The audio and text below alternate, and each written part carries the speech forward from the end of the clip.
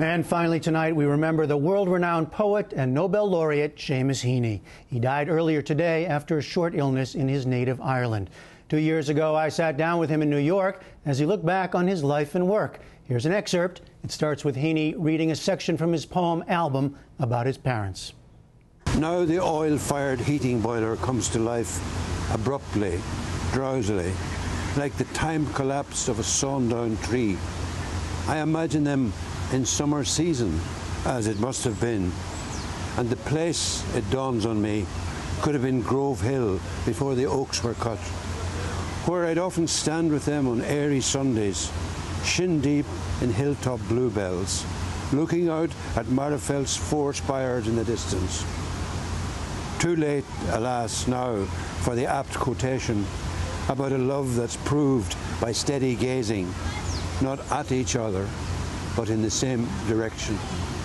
Heaney grew up in a rural family farmhouse called Mossbawn in Northern Ireland. He was the first of nine children and lived a life very grounded in the soil. His famous early poem, titled Digging, portrays his father working the earth with a spade and ends with an announcement to the world that he, the young poet, will use a different tool. Between my finger and my thumb, the squat pen rests. I'll dig with it. In his Nobel address, he spoke of making a life's journey into, quote, the wideness of language. The first poetry you write, uh, you feel you can trust and come to a point where you think that is a poem. As a, a life changing experience. Do you remember that? I do, yes. it was certainly when I wrote Digging, you know, I felt. Uh, when you're beginning, you're not sure. I mean, is this poem, uh, or is it just a, a, shot at a poem, mm-hmm. or is it a kind of a dead thing?